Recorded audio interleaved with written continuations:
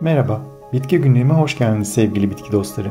Bitkilerin dünyasına yaptığımız bu yolculukta her gün yeni bitkilerle tanışabilir, onların pek fazla bilinmeyen hikayelerini benden dinleyebilirsiniz. Dilerseniz hemen yeni bir bitkiyle daha tanışalım. Karabaş otu ya da Latince adıyla Lavandula stoicas, lavanta ailesi yani lavandulanın bir üyesi olan genellikle Fransız lavantası da denilen, kökeni Akdeniz Havzası ve Anadolu topraklarına dayanan çiçekli aromatik bir bitkidir. Ona daha önce lavantayı yani lavandula angustifolia'yı anlatırken kısaca değinmiştim. Bitkiye uluslararası literatürde İspanyol lavantası ya da tepeli lavanta da dendiğini duyabilirsiniz. Karabaş otu lavantaya göre daha iri çiçekli ama daha narin ve soğuklara daha az dayanıklı bir lavanta türüdür. Karabaş otu da tıpkı diğer lavanta türleri gibi sıcak, kurak ve bol güneş alan topraklarda yetişmeyi sever. Götürdüğü sıcak ve kurak Avustralya kıtasında istilacı bitki statüsü kazanmış ve kıtanın geneline yayılmıştır. Lavandula stoicas pedunculata ve Lavandula stoicas lucieri doğal yaşam alanında en yaygın görülen türleridir fakat gösterişli ve bahçecilik ödülleri almış birçok kültür çeşidi bulunur. Bol güneş alan kurak bahçelerde bordür veya balkonlarda saksı içinde kullanım için ideal bitkilerdendir.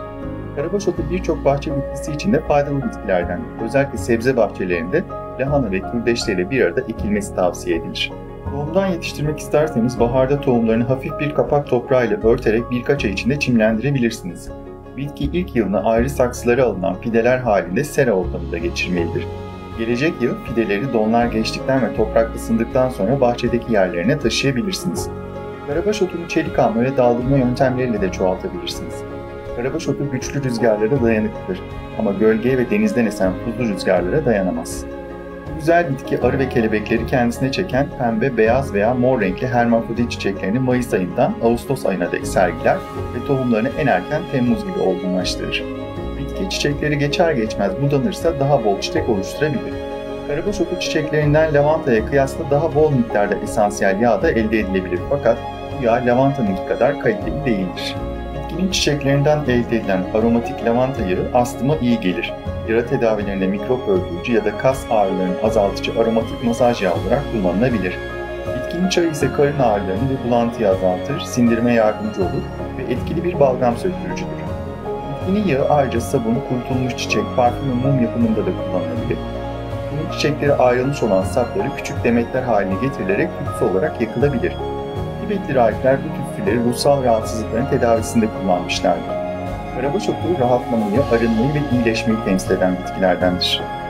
İlk olarak Antik Mısır'da mumyalama işlemlerinde kullanılan lavanta yağı ilk kez Fenikeliler tarafından parfüm yapımında kullanılmıştır. Yüzyıllar sonra 18. yüzyılda lüks Fransız parfümlerine de eklenerek adeta yeniden keşfedilen lavanta, lüksün ve ebedi güzelliğin sembolü haline almıştır. Romalıların onu sıcak banyo sularını ve çamaşırların içinde yıkandığı kaynatılan suları kokulandırmak için kullandığına lavantayı anlatırken değinmiştim. Hatta lavanta adı Latince'deki lavare yani yıkamak, arındırmak sözcüğünden doğmuştur. Bitki günlüğümü ziyaret eden herkese bu videoyu izlediği, beğendiği, yorum yaptığı ya da paylaştığı için teşekkür eder, bol çiçekli günler dilerim. Bir sonraki videoda görüşmek üzere.